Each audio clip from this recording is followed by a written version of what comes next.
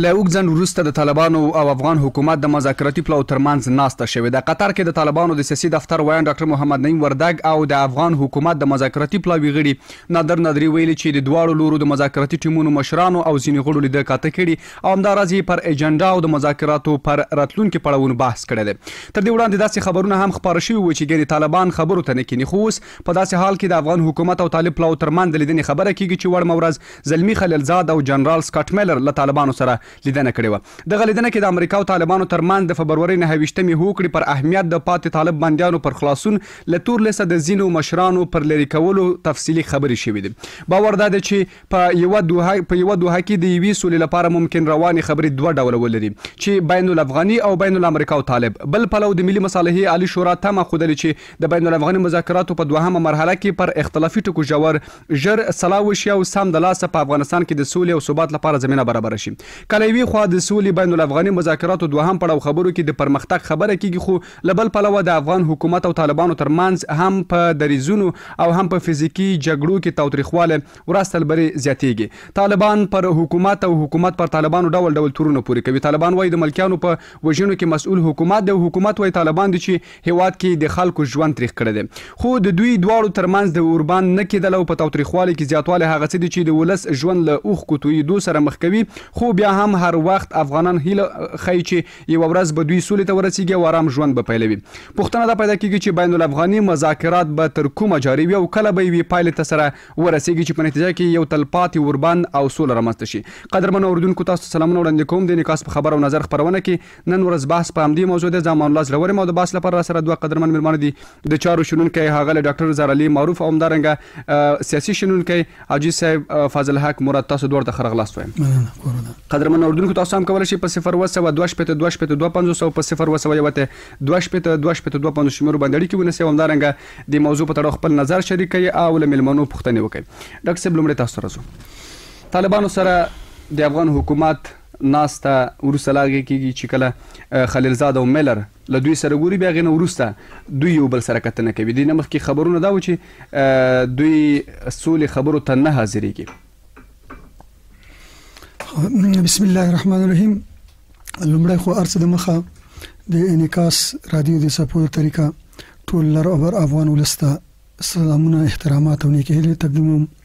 او په دوم قدم کې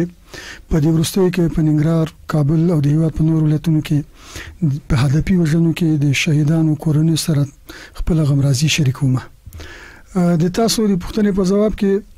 باید وایم چې په دوحه کې د طالبانو او د افغان دولت د پلاو ترمنځ چې لومړی پړاو خبرې په بریا سره تر سر ته ورسېدلې دوهم پړاو چې خورا مهم پړاو دی د مهمو موضوعاتو په سر باندې د اختلاف له نظره لګ ځندنې سولې هغه اختلاف په څه کې دی د افغانستان دولت په لومړي قدم کې د اوربند یا د دزبند غوښتونکي دی او د طالبانو طرف مخکې د چې اوربند وسی هغه غواړي چې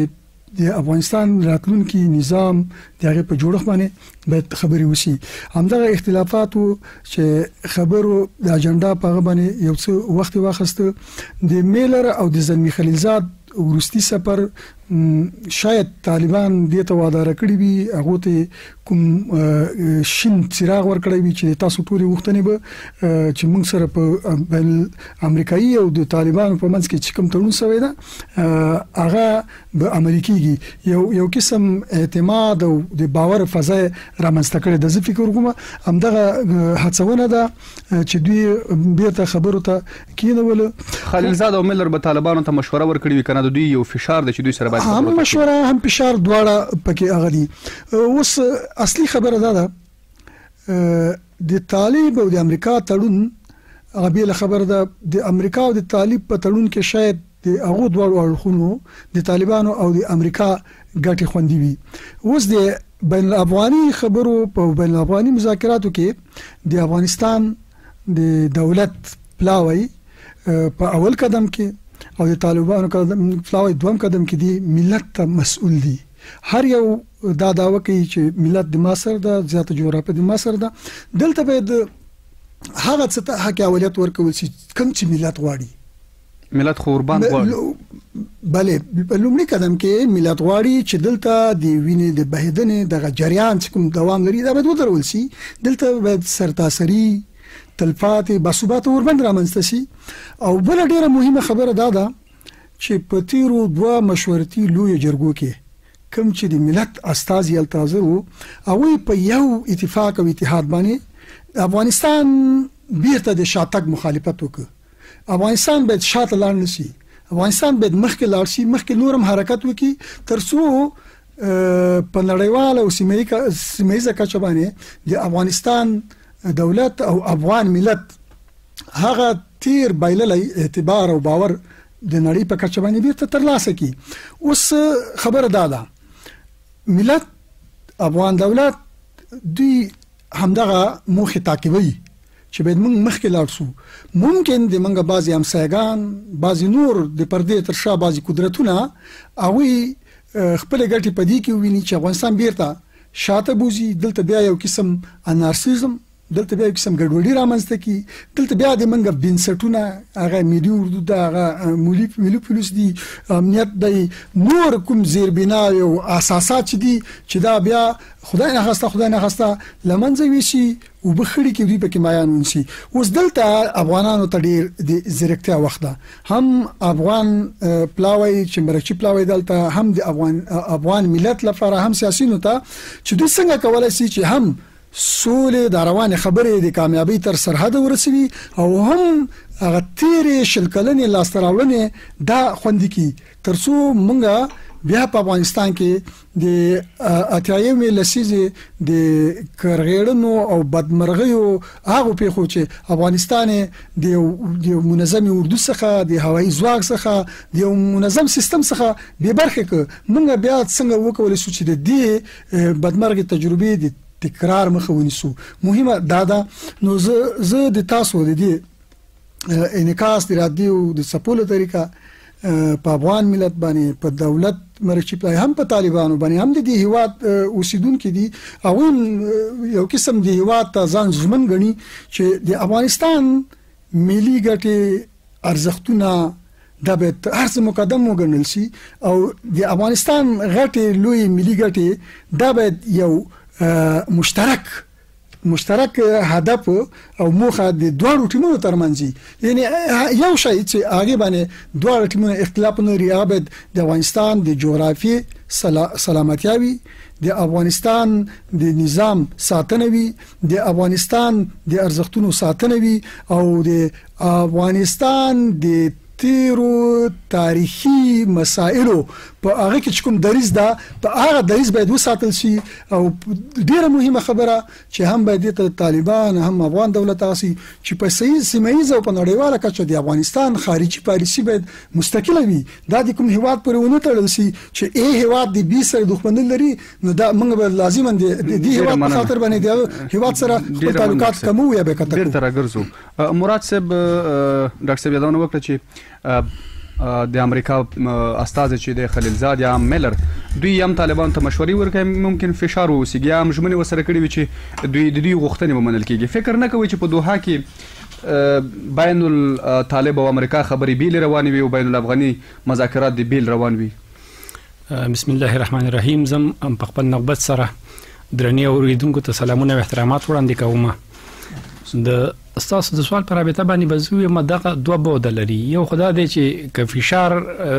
یادونه تیو کې فشار یو غني فشار موضوع به بیلې خو د دې نه مخکې چې د بین الافغاني مذاکرات شروع شي د امریکا او د طالبانو ترمنځ یو موافق موافقت شوی دی یو یو هوکړه لیک لاسلیک شوی دی او په هغه کې هغه موارد چې دي ځینې موارد پکې د سدي چې هغه رسنیز شوی نه دي په ډاګه شوی نه دي د خلکو نه پټ ساتل شوی دي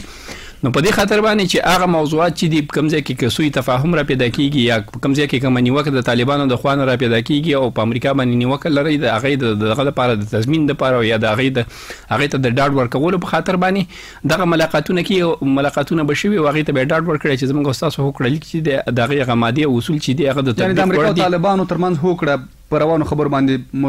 اغیز لري طبعا مثبت یا منفي طبعا د مثبت اغیز په هم لرل شي او منفي اغیز په هم لرل شي یعنی دا معلومه خبره ده چې د امریکا خبرې چې دی د امریکا فشار چې دی د امریکا غوښتنه چې ده یا د امریکا ناسته چې ده دا دا تمن دغه لري تاثیر لري هم په مذاکراتو باندې لري او هم په په جګړه باندې په ټولو باندې مواردو کې دغه لري امریکا چې د مرکزی رول په افغانستان کې لوبي ولې اوس مهال هم امریکا چې کله د طالبانو سره ګوري لکه خلیلزاد ملر د اوسنۍ لیدنه کې چې کله طالبانو سره کتلې دوی هم هغه ټینګار په دې کړی دی چې دوی د فبرورۍ د نهه ویشتمې هوکړې باندې د هغې په اهمیت باندې غږېدلي دي مغه کې چې کومې ژمنې شوي دي دوی چې عملي شي ولې اوس هم په هماغه باندې ټینګار کیږي په ځای دې چې بین الافغاني مذاکراتو ته رشد ورکول شي عام پرمختګ ورکول شي داسې دی زه یو وړاندیز دا کولم زمونږ زیاتره دغه سیاسي باسونه چې دی دا سیاسي شننې چې دي په داسې یو لور باندې روان دي چې یو داسې یو نظر وړاندې کوي چې هغه د عملي کېدو جوګه نه وي او او هندسه چې د فضایي هندسه چې دغه پکې جنگول کیږي او د چا چې ذهن ته سره هغه وایي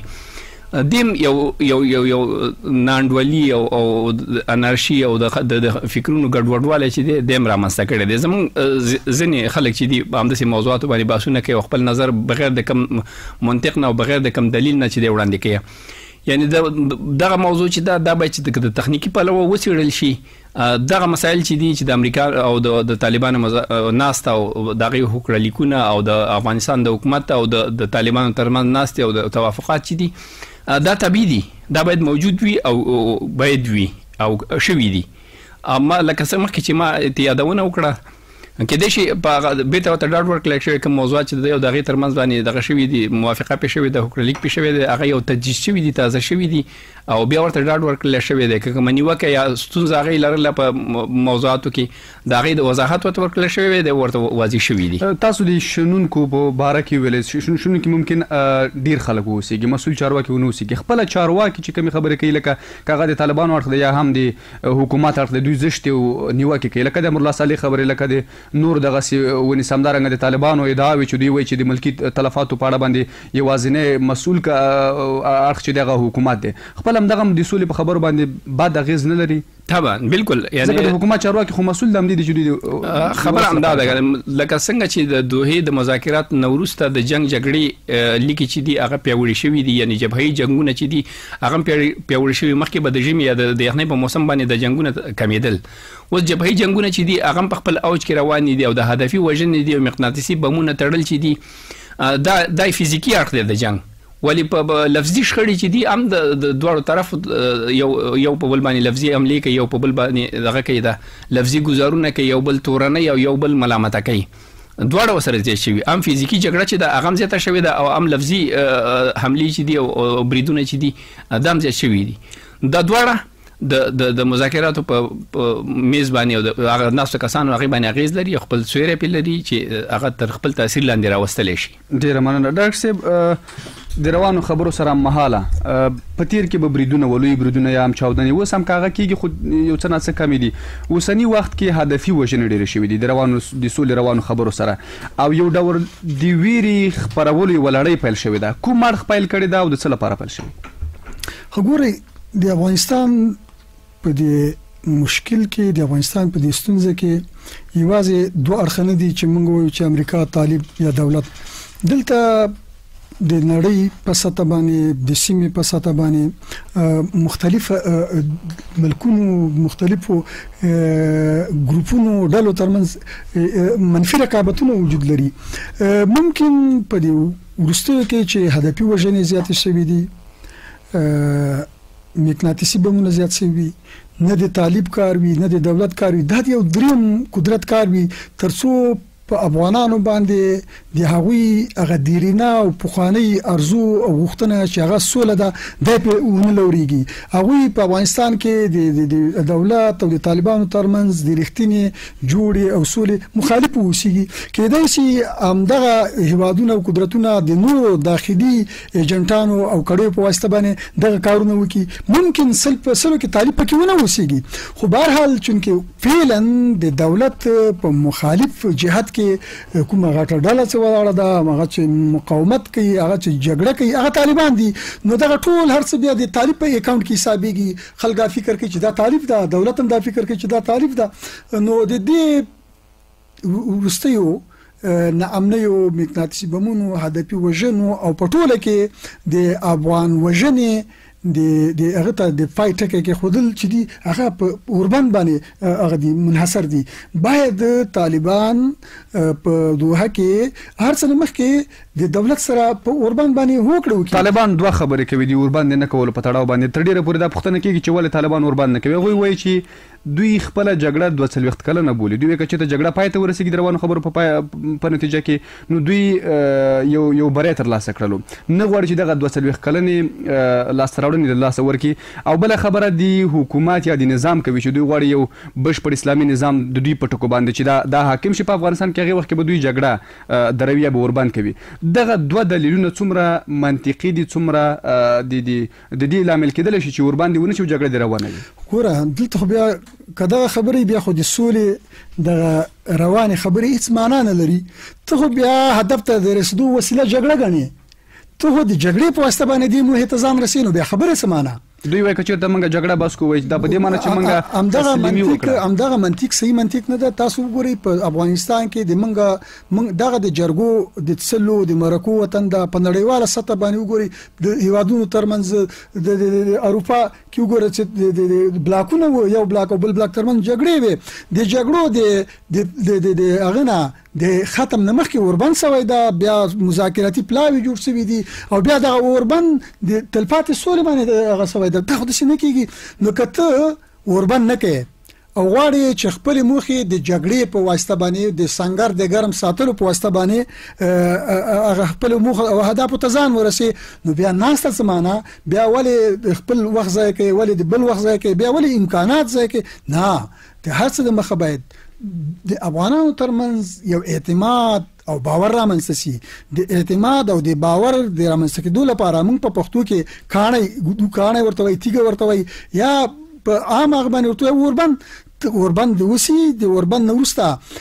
دلته ګوره د افغانستان ملت بر اغشتي هیڅ کله هیڅ کله چې دریم ګړی نه دی دوه زیدخلو اړخونو ترمن سول نه شي راتللی دلته ملت ته واک ورکول سي ملت ته دي واک ورکول سي لويه جرګه دي راوغوښتل سي لويه جرګه به وای چې وروره زه امارت غواړم زه جمهوریت غواړم زه کوم شی غواړم څومره امکان لري چې لويه جرګه دي راوغوښتل شي بغیر له دې نه بل لار موږ نه لرو د لوی جرګې نه بغیر ګوره طالب هم یو وخت ده او په نظام کې د خل واکمنان بل اړخ ده نو درې ملار به څوک انتخابوي هغه ملت انتخابوي طالب چې څه وايي دا خو د یو مخصوصې ډلې نظر ده د واکمنې کړۍ هغه کوم نظر چې دا د واکمنې کړۍ هغه ده په منځ کې دا 15 دیر سلبیخ ملیونه او نفوس چې دا د افغانستان ملت چې دا آیا ملت څه واړي ملت واړي چې د خاصې کړۍ تر واکمنۍ لاندې همدغه سی اوسېږي د منګه نړۍ سره تعلقات نه وي موږ صرف د وی وینډو نه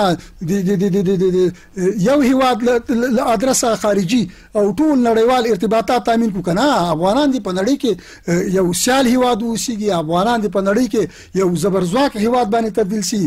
افغانان دي په سیمه کې خپل تاریخي برم او هغه کې دا ګور ملت ته به دا غور کول شي الحمدلله د افغانستان ملت ګور 99.9% مسلمان ده هم دا اوس په د نړۍ په سطح باندې ولې د بشپړ نظام تر عنوان لاندې د غیر پر جګړه کې ګوره دا اوس تاسو ګوري په نړۍ کې دا فیصدي معلومه شوې ده په نړۍ کې تر ټولو زیات معتدین او عبادت کوونکي خلک افغانان دي د د د تا د د ملي اردو په صفوفو کې کاریان دي حافظان دي پنځه وخت جمع کوي د تا د طالبانو په منځ کې عالمان دي پنځه وخت جمع کوي نو دلته خو د عقیدي جګړه نه ده دلته د سیمې او د د د سیمې نو راخوا د نړۍ په کچه د قدرتونو اقتصادي جګړه ده مذهبي جګړه ده کلتوري جګړه ده او په لوی کې دلته یو یو یو یو څو اړخیزه سیالي روانه ده د افغانستان په جغرافیه باندې چې د دغه سیالیو اصلي قرباني افغانان دي من باید پردی جګړې ته په افغانانو تپل شوی جګړې ته هیڅ کله مقدسه بڼه ورنکو د مذهب په نوم باندې د اسلام په نوم باندې د افغانانو په منځ کې وژل دا خپل غټه بي انصافي ده الحمدلله افغانان مسلمانان دي من باید داسې خبرې وکړو داسې نظریات وړاندې کوو که په هر طرف کې چې مونږ نور په افغانستان کې د افغانانو د وینې د تویولو دا پروسه ودرو موږ نور د اسلام آباد د ډیلی د واشنگټن د مسکو د ریاض د تهران د ګټو د ساتلو په خاطر باندې خپل وینه توی نه کوو نیابتي جګړه به دلته نور پای ووري اوریدونکو مرخلو بیرته بیا راګرځو باسته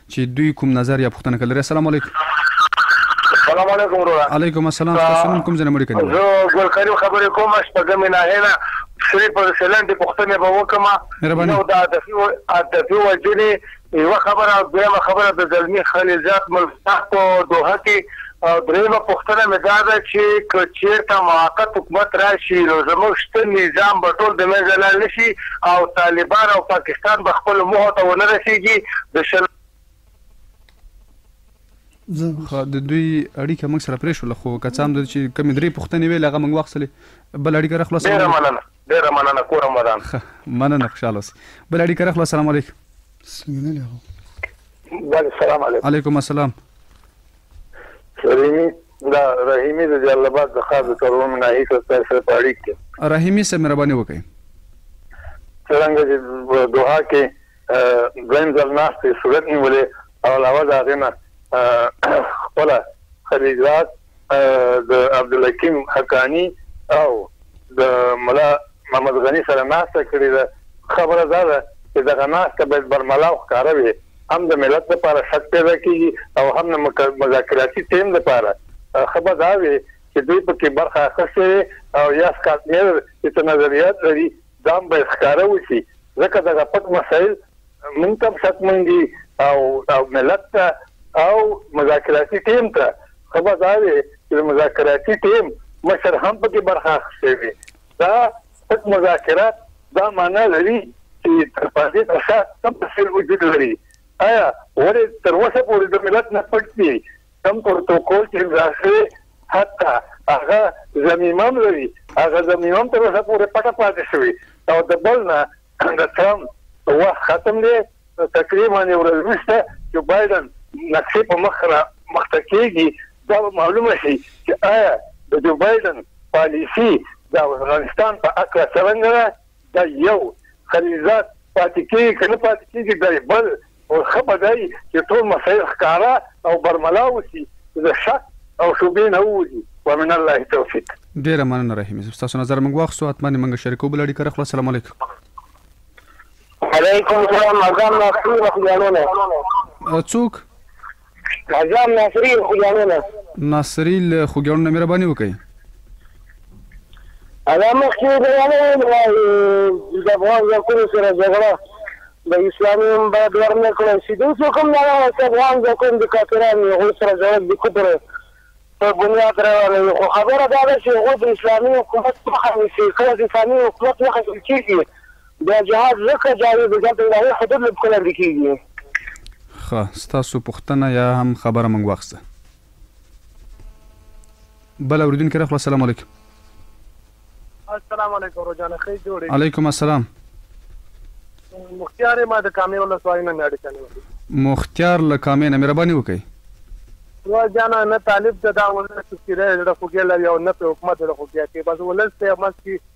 فوټبال میدان یې ترې جوړ کړی، یو یې په یو خوا لوبوي، بل یې په بل خوا لوبوي او بل زموږ جنرال هم دا چغې وهي چې اوربند غواړم، اورکم غواړم، بل زموږ جنرال خو دا چغې وهي چې زه جنګ کوم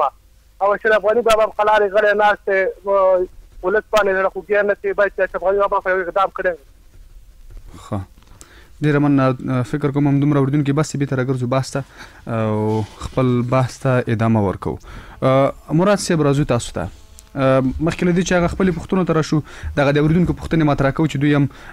ګل کریم جلال آباد نه و د دې باندې تاسو که څه هم رڼا واچوله یوازې هغه د موقت حکومت خبره د دې اضافه و چې د موقت حکومت په رامنځته کېدو کې به فکر نه کوئ چې طالبان یا هم پاکستان د مشخص نیت کو چې دوی به په واک کې وي په البته په افغان د افغانستان په نوي موقت نظام کې به دوی برلاسي وي دویمه خبره د رحیمي صاحب چې دوی چې د خلیلزاد یا د ملر خبرې د طالبانو سره چې کوم دي دا باید ښکاره وی ولس ته همدارنګه د افغان پلاوی سره دغه ناسته د هغوی په حضور کې تر سره شوی وی که څه هم دوی ویلي دي چې خبرې د فبروري د نهه ویشت په تړون باندې شوي دي او خو ټینګار په همدغه و چې هر څه باید کاغه د خلیلزاد لوري کېږي یا هم د میلر لوري کېږي طالبانو سره دا باید ښکاره وی نه هم پټ نو دا خو داسې خبرې دي چې دې ته وایي هیله امید دی که نه هر سړی ډېر امیدونه لري چې زه زما د لوړ بلډینګ لرلی او ښه موټر مې درللی او آرام ژوند مې دی لرلی دا د هر چا هیله ده خو هغه څوک دې هیلې ته رسیږي چې څوک په دې لار کې زحمت وباسي زیار ګالي او کوشش کوي بیا دې هیلو ته رسیږي موږ چې یو ټول په هیلې باندې روان یو بس صرف زمونږ چې دي غوښتنې دي او خپل مسولیت چې دی او زمونږ پورې چې څه اړه لري چې باید مونږ یې وکړو د هغې نه مونږ سترګې پټې کړې دي دوه موضوعات مهم دي چې زه غواړم چې لنډه تبصره پې وکړم هغه یو دا دی چې تاسو مخکې د ډاکټر صاحب په دې باندې خبره مو کړله چې دا روان وضعیت چې دی ولې داسې یو حالت ته ورسېدلو چې هر سړی په ویره کې دی هر سړی په ډار کې دی هر سړی په په په یو تشویش کې دی د موجوده نظام د ساتلو په خاطر باندې چې دغه سي د د د فشار په دې ټولنه باندې هغه څوک چې هغه فکر لري هغه چې نظر لري هغه چې طرح لري هغه چې وړاندیز لري او هغه چې معقولیت لري د هغه خلکو مخه ډب کول پکار دي ترڅو پورې چې ولس راویښ نشي او د ولس فکر چې افکار چې دی هغه روخانه نشي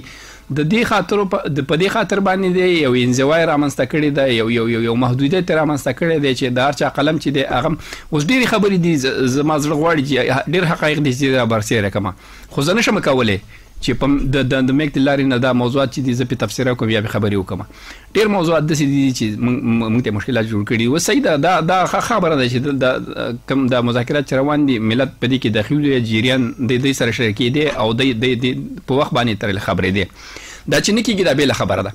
یو خبره چې مهمه ده هغه دا د طالبان دي هغه هم افغانان دي او حکومت دی هغه هم افغانان دي موږ په دې کار نه لرو چې دا طالب دی او دا چې د حکومت دی د یو ثالث یا دریمګړي په صفت باندې حکومت چې کومې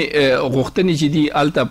اجنډا چې جوړه شوې ده او په اجنډا کې چې کوم موضوعات رانغښتل شوي دي او هغه توحید شوي دي په هغې باندې تاسو به خبرونو کې تعقیب کړي وي چې نننۍ خبر تازه خبر همدا دی چې حکومت خپل اجنډا چې ده هغه تکمیله کړې ده بشپړه کړې ده او طالب لوري ته چې دی وړاندې کړې ده ولې طالبان چې دي هغه د خپل اجنډا د ټاکلو په خاطر باندې تر اوسه پورې لا په مذاکراتو باندې بوخت دي او دې نتیجې ته نه رسیدلي چې هغه د خپل اجنډا بشپړه کړي خو په دې من کار نه کمزوري شته کنه هغه غوښتنې بل وړي وي نو دا دغه پورې اړه لري او زمونږ غوښتنه چې د طالبان نه مونږ چې کوم ملت چې کوم غوښتنه لري او ولسي ته غوښتنه لري هغه دا ده چې طالبان که هر څومره غوښتنې لري او که هر رقم نظام غواړي خو یوه غوښتنه چې د ملت غوښتنه چې په ټینګار سره باندې په ټینګار کوي او تاکید پکې هغه دا ده چې د د د عامه ولس د وینو د بهیدلو مخه دی ونیول شي مهرباني دی وکړي اوربند دی وکړي بیا د دې کینې مذاکرات میز ته دي ناسي چنې دی وخی د ګوره د قدرت لپاره ترلاسه کولو لپاره معقولي او موزوني لاري چي دي هغه شته دي په دي لارو کي دنيا نړيوالو چي دي هغه دومره قرباني ورکړي دومره زحمات يې ګاللي دومره تکليفونه يې ګاللي دي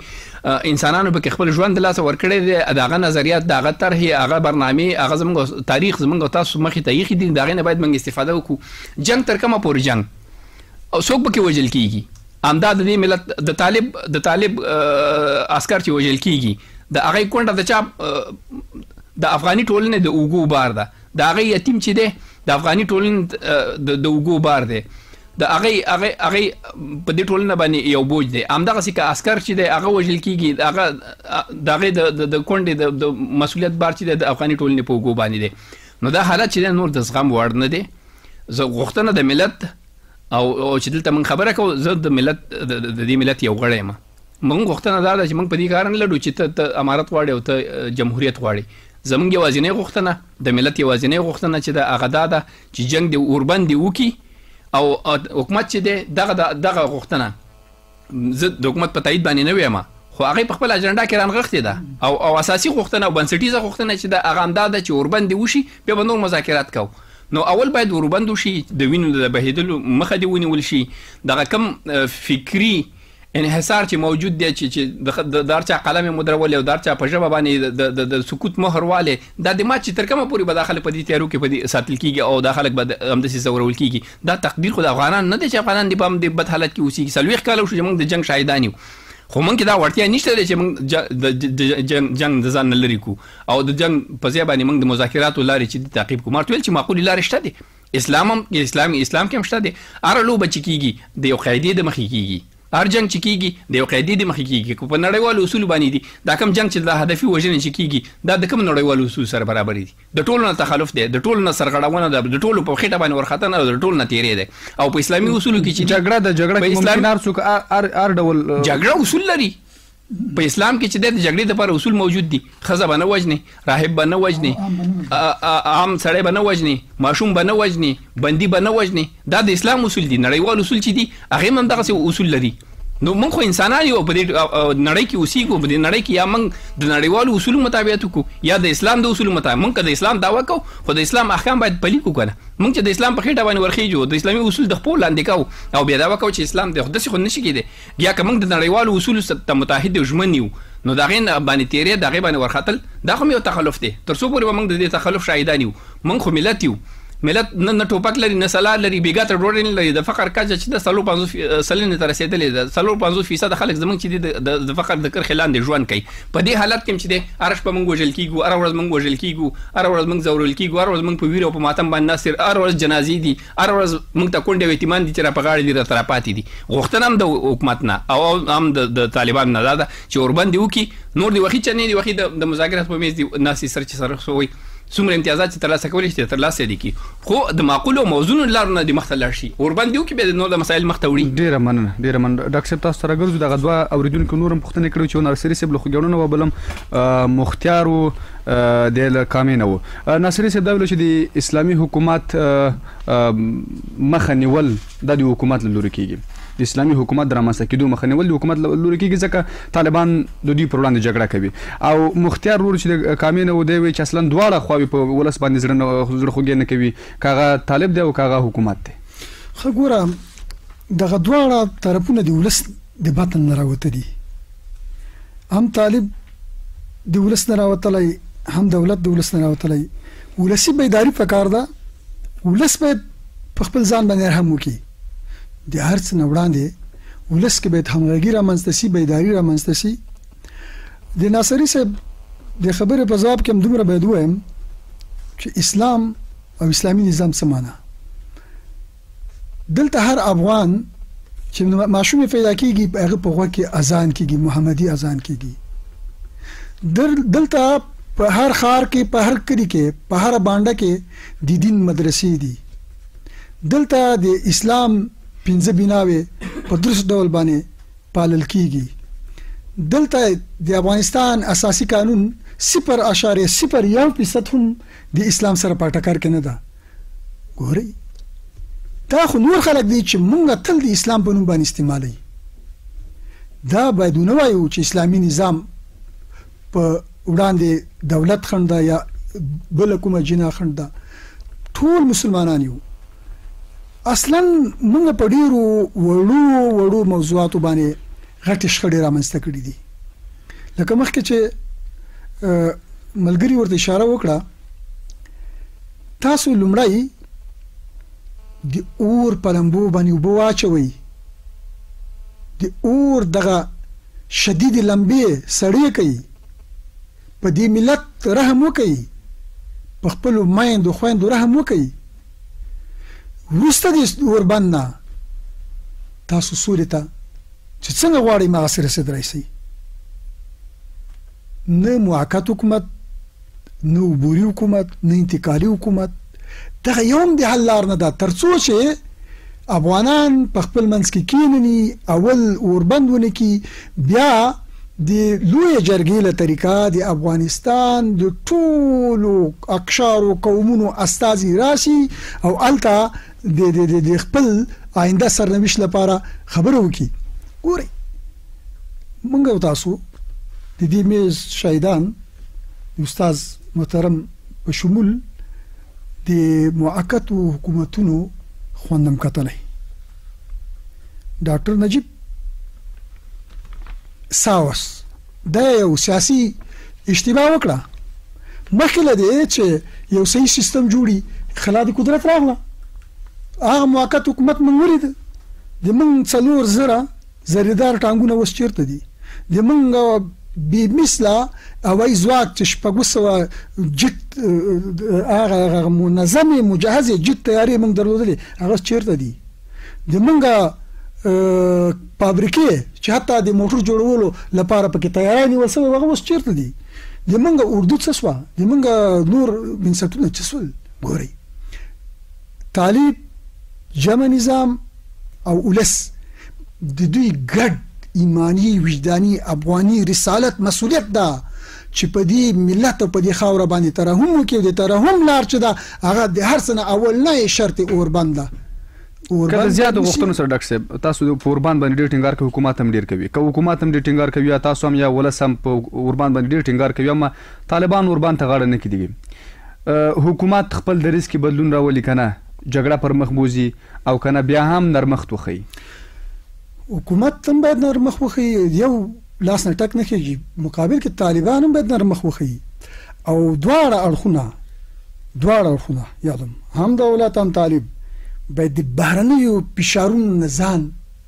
لږ خلاص کړي. دوی باید په دې فکر وکړي چې د ما د ملت، د ما د هېواد هغه غټې غټې پچیشکې نغښتې دي. زه به تر څو د پنجاب د ګټو ساتونکی ما زه به تر څو د تهران د سپاس پاسداران د ګټو ساتونکی ما زه به تر څو د د مسکو د واشنگټن د ګټو ساتونکی زه به د افغانستان د ګټو ساتونکی وسم زه به د کابل د ګټو ساتونکی وسم زه به د دې 15000 کلن ملت هغه ویاړونه او هغه هغه هغه ارزښتونه چې په نړۍ کې بې ساري دي هغه باید زه وساتم دا د ما ایماني او وجداني مسولیت ده او زه زه زه چیلنج ورکوم په دې سیمه کې په دې په دې تاسو د مایک له طریقه په دې سیمه کې وګوره د اسلام لپاره د افغانانو نه چا زیاته قرباني ورکړي دغه بری صغیر ته اسلام چا رسولی مجدد الف ثانی نه واخله د تا گنج بخش پوری تر تر تر تر لا شاباز کلندر پوری تر پیر صاحب کاکا صاحب تر شاول الله رحمت الله علیه پوری دا ټول څوک وو دا افغانان وو دا اسلام هلته چا ورساوه؟ دا نن چې موږ دلته په دې سیمه کې ازاد اوسېږو او د سرو لښکرو په مقابل کې موږ ودرېدلو، یو نیم میلیون شهیدان ورکړل او د نړۍ، د اروپا، د امریکا او د جنوبي اسیا ګټې مو خوندي کړلې، خپل ځان مو ټوک ټوک کړ، دا تر دې نه زیات اسلام پالنه څنګه وي؟ تر څو په موږ د اسلام په نوم باندې خلک وژني الحمدلله افغانان به مثل مسلمانان دي خو د دې مسلمانانو ترمنځ په اصلي او بین اخویکم د خپل ورونو په منځ کې سوله وکړي دا د قران دا د سنت دا د اجماع دا د قیاس دا د ټولو دغه لار ده ډیره مننه چې د مسلمانانو په منځ کې سوله وکړي بغیر د اوربند نه بغیر د خبرو د ډالوګ نه موږ هدف ته نسو رسیدلی ډاکټر صاحب واخ را سره ډیر کم د غواړم ورسې پښتنه لمرات صاحب نو کوم چې هغه دا شي دوی مخکې په خبرو کې دا نه وکړه چې یوازې موږ ارڅ په هیلو پورې تړل دي کله به بل اخره دغه خبرې پای ته رسیږي چې یو نتیجه ورکړي یا هم تر کله به دغه بین الافغاني مذاکرات جاري وي په داسې حال کې چې افغان حکومت یا ولس اوربند غوړي طالبان وسره نه مني نو دا د سیده چې د مخکې نه اوس حالات چې د تغییر کړي دي مونږ بیا دغه غوښتنه وکړو چې مونږ په دې هیله وکړو چې دا مشران دي دا وکړي تیر تاریخ ته وګورو زمونږ په تیر مشرانو کې دا وړتیا نه و نه د قرباني ورکړي د ملت لپاره خو کدی د ملت ستونزو ته وګوري او د ملت ستونزې چې دی هغه درک کې هغه خپل وګڼي او د غریښتینې نمائندګي د خپل ولس نه وکي نو په هغه صورت کې امکان لري چې د دې ترمنځ باندې د ده خو په پوله او په پټي باندې سره لانجه نه ده کنه په قدرت باندې سره نښتي دي په قدرت باندې نښتي دي قدرت په یو یو یو کس د پاره چې ده نشي ځانګړي کېدلې د دې لپاره هغه پروسیجر د لار د وسوک په په وزیر بشي سوک په ټول خلکو نشي رئیس جمهوران کېدلې سوک په پارلمان کې دغه شی وګمارل شي سوک به وزیران شي سوک په کابینه کې ورته ونډه او برخه ورته ورکړل شي خو یو شخص خو نشي کولای خو د خپل غوښتنو نه دی تیر شي او د ملت غوښتنو ته مراجعه وکړي نو په هغه صورت کې دا توقع ته کېدای شي کنه دا د خبرې دي روانې به یو هیڅ نتیجه چې دا غوړ تړلې نه ډیره مننه